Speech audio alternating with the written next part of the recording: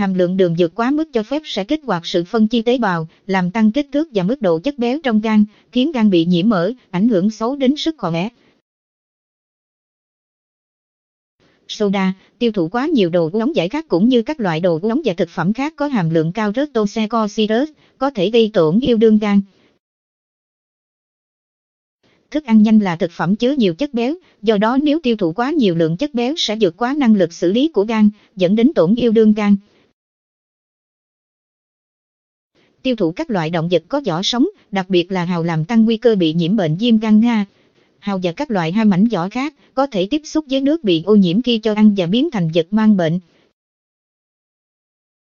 bổ sung vitamin và khoáng chất bừa bãi. Nhóm thực phẩm này bao gồm các vật phẩm thảo dược, khoáng chất, vitamin và thực phẩm chức năng.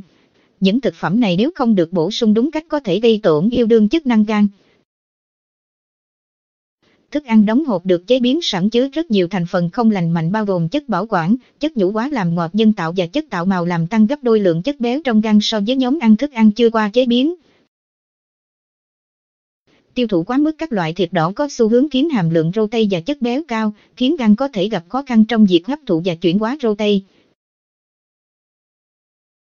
Uống quá nhiều rượu trong một thời gian dài có thể gây ra gan nhiễm mỡ, sơ gan hoặc viêm gan, thậm chí cả ba vấn đề trên cùng một lúc.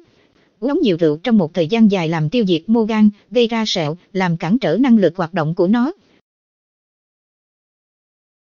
Thức ăn mặn có hàm lượng natri vượt quá mức cho phép, dẫn đến lưu giữ chất lỏng dư thừa trong gan và ức chế hoạt động của gan gây ra nhiều bệnh nguy hiểm.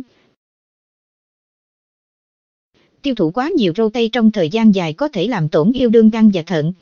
Các rau tây trong thực vật khó tiêu hóa hơn rau tây động vật khiến thận và gan làm việc quá tải có thể gây ra các bệnh về gan hoặc dẫn đến rối loạn chức năng não và hệ thần kinh.